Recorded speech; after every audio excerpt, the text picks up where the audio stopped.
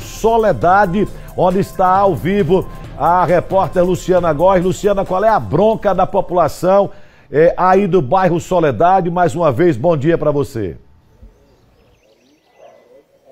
Bom dia novamente, Fábio. Bom dia novamente a todos, na verdade, né? Veja, tem uma grande obra sendo realizada aqui na zona norte da capital, a gente já divulgou isso por diversas vezes, que vai sair lá da Paulo Figueiredo até a Santa Gleide. No entanto, para que isso tudo aconteça, é necessário passar por algumas obras, por algumas ruas, inclusive por aqui, a rua Rosileide Teles. Agora, o qual é o problema? É que enquanto os caminhões passam com areia, tem deixado os rastros nas ruas e tem, além de incomodado com a sujeira dentro de casa, tem trazido problemas de saúde. E por isso os moradores nos chamaram. A gente pode ver que além da Rosileide Teles, a rua aí que fica ao lado também está totalmente coberta de areia e todos os dias são assim, né, Mari, que nos chamou aqui já cansada dessa situação, inclusive doente. Bom dia. Bom dia. É a situação essa que vocês estão vendo, né? A gente só clama é para que algum responsável da obra venha tomar algum tipo de atitude, porque a gente está sem aguentar já. É, o problema é que eles passam o carro-pipa e só piora a situação. Porque eu acho que eles, eles acham que resolve o problema passando o carro-pipa, mas aí só está piorando, porque no sol que está, o asfalto no meio seca e a lama fica todinha na porta e aí não resolve. Tem solução nenhuma. Sem contar que as caçambas passam em velocidade, né? Quando dobra a esquina, a poeira levanta. Então, assim, a solução do problema é só tirando o material da pista. Porque se não tirar o material, o material da pista, não vai resolver. E todo dia passa caminhão por aqui? Todo dia passa. Passou, é, parou de sexta-feira para cá.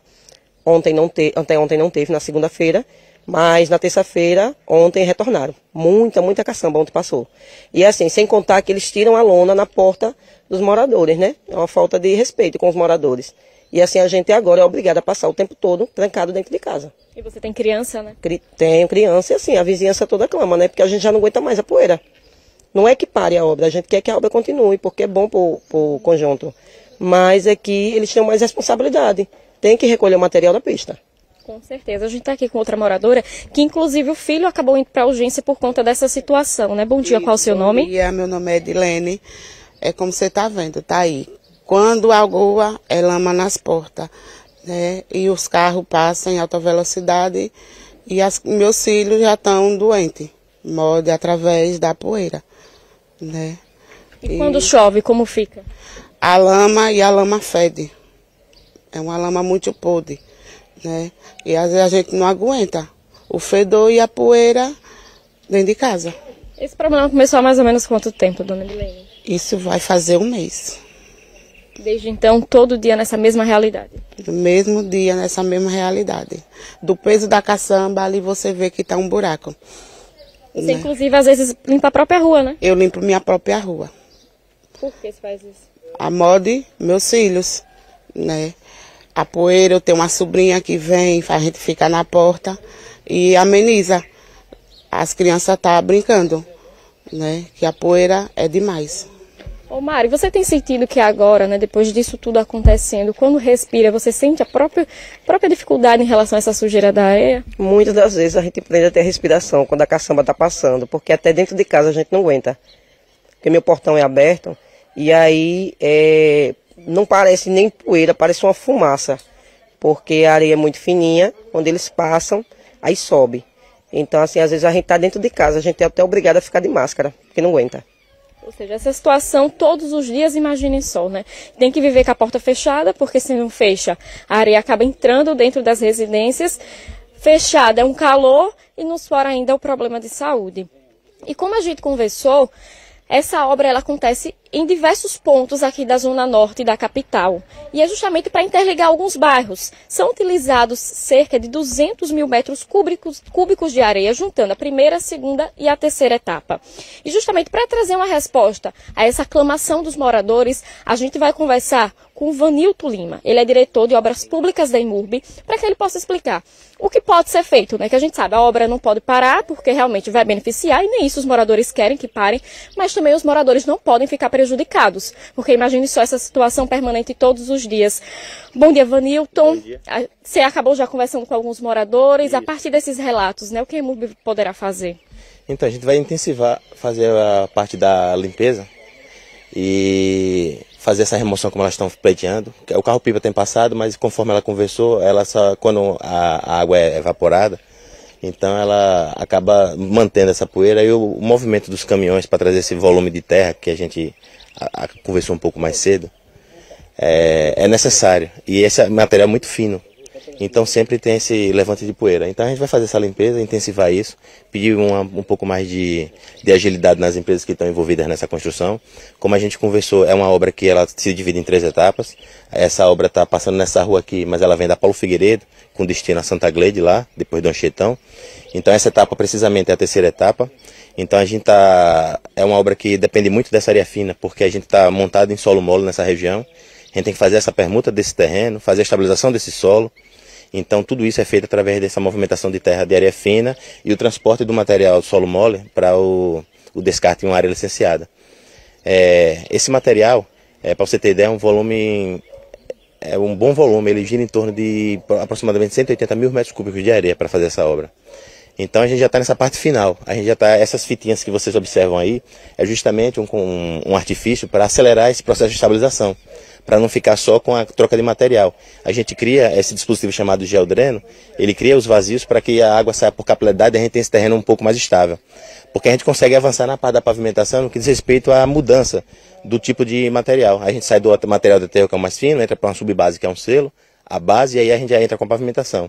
Então esses problemas aí tendem a sanar e a gente, é, é, como é que fala, renovar as vias que a gente se viu de, de acesso para o trabalho ser executado, renovar todas elas e devolver a população juntamente com a, a via perimetral. Danilton, só para a gente encerrar, você acha que isso mais ou menos em quanto tempo?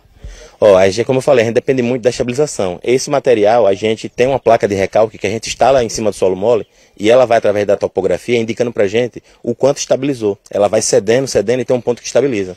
Nessa hora é que a gente tem permissão de fazer a, a remoção do excesso da areia e começar a trabalhar as camadas de subbase, como já está acontecendo aqui no, no Catarina. Você saindo lá onde eram os viveiros, você subindo aqui o loteamento de Santa Catarina, você já presencia a pista na condição de base, já para receber imprimação e asfalto.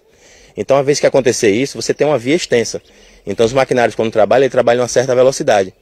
O importante é a gente sair dessa fase, que aí sim, é esse material realmente, você transporta, é um material fino, ele tem um alto poder de absorção de água, então ele evapora muito rápido, então essa limpeza ela tem realmente ter que ser um pouco mais acelerada para trazer um pouco mais de conforto para a população. Com certeza, até porque a população não pode ficar, né, gente, respirando todo dia areia e com problema de saúde por conta disso, né? A obra tem que acontecer, como a gente já disse, mas acontecer com também responsabilidade com os moradores e a MURB já garantiu, então a gente fica feliz que isso realmente possa acontecer e a gente vai continuar acompanhando com vocês esse caso. É com você, Fábio. É, Luciana, primeiro agradecer à equipe da IMURB, você acompanha agora as imagens é de Augusto Baiano. É, Luciana, só uma dúvida: essa obra da Avenida Perimetral é aquela avenida que vai sair ali logo depois da ponte do conjunto João Alves, onde tem aquele aterro grande ali bem próximo ao mangue, e ela vai exatamente para onde? É, ela sai ali, ou sai ou chega depois da ponte do João Alves, ela vai interligar essa região por onde? Uma obra, inclusive, muito importante para a zona norte da capital e você vê as imagens aí do Augusto Baiano dessa obra que é, que é grande. Ela vai de onde para onde, Luciana? Pronto, Vanilton, o Fábio está perguntando essa obra, ela começa da onde, vai até aonde, porque a gente sabe que é uma grande obra, né? Começa inclusive ali já desde a Santa Gleide, para onde vai? Pronto, essa obra é uma obra, uma via expressa, que ela vai interligar, como você falou, essa zona norte. Ela pega o município de Nosso Socorro e faz esse transporte aqui para Aracaju, saindo na Santa Gleide ali na Avenida Canal, próximo da Lauro Porto, naquele posto de gasolina ali. Então essa obra, ela, em média, ela tem uma extensão de 7,5 quilômetros. Ela está nessa fase aqui, ela está dividida em três etapas, e tem a quarta que está para ser dada a ordem de serviço, que vai interligar a parte do Maracaju ao terminal ali.